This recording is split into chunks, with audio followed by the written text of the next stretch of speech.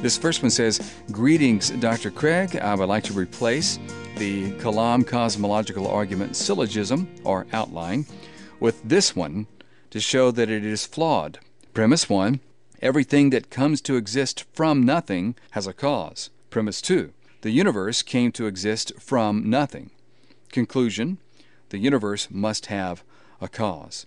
Now we can see that the argument fails because we don't know that the first premise is true Indeed, quantum mechanics suggests that strict causal relationships break down at the quantum level. We also don't know if premise 2 is true. So, therefore, the Kalam cosmological argument fails because it changes the meaning of begins to exist midstream and hides it in the language. Well, quite a mouthful there. yeah, he, he thinks that both the premises are false and that the argument commits a fallacy of equivocation. So it's, it's a pretty bad argument, uh, according to him. Okay. Well, let me first say that I don't think his revisions do anything to elucidate the argument. Whether you add the phrase from nothing really doesn't materially affect the argument in any way. And in fact, I would agree that his argument is a sound argument that anything that begins to exist from nothing has a cause that the universe began to exist from nothing, therefore the universe has a cause. I think that both of the premises are true and that the conclusion logically follows. Now, his refutation is the old appeal to quantum mechanics to say that in quantum mechanics things begin to exist from nothing, and that's just patently false. Uh, in the first place, uh, there are at least 10 different physical interpretations of the mathematical equations of quantum mechanics. And some of these physical interpretations are fully deterministic. It is only in some of these, principally the Copenhagen interpretation, that events are said to occur without determinate causes. But that's only one out of at least 10 different interpretations of quantum mechanics, and nobody knows which physical interpretation is correct. So in fact, it's not a successful counterexample to the first premise. The, it does nothing to prove that even quantum events can begin to exist from nothing. But secondly, in any case, it is simply not true that quantum events begin to exist from nothing. These events are the result of uh, fluctuations in the quantum vacuum, which is not nothing. When these virtual particles, for example, form in the vacuum, they are fluctuations of the energy that is locked up in the vacuum. It is a sea of fluctuating energy governed by physical laws, having a rich physical structure.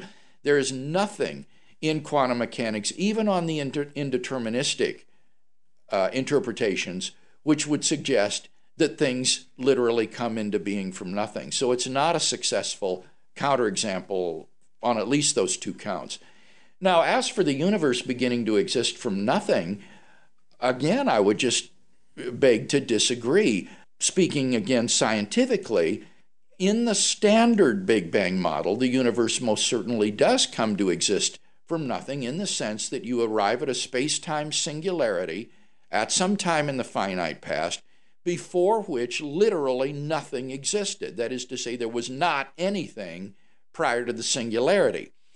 So there's no doubt that on the standard model, the universe began to exist from nothing in the sense that it has a beginning before which there was nothing. There was not anything prior to it. Now, the question then really is is the standard model correct in this prediction? And I think theorists have been able to show that by marrying quantum mechanics with general relativity, we can construct models of the universe which can avoid the initial singular point uh, so that the universe doesn't begin to exist at a singular point in the past. But none of these models can be extended to the infinite past. They still are finite in their past duration, and therefore the universe on these models still has to begin to exist. Uh, and therefore is created out of nothing, even if it doesn't come into being at a singularity of infinite space time curvature and, and infinite density. So I do think that both of the premises of the argument are plausibly true. Now, does it commit an equivocation in the word begins to exist? Well, not at all. We can give content to the notion of beginning to exist, we can say that x begins to exist at t, sometime t, uh, if and only if x exists at t and there is no time prior to t at which x exists.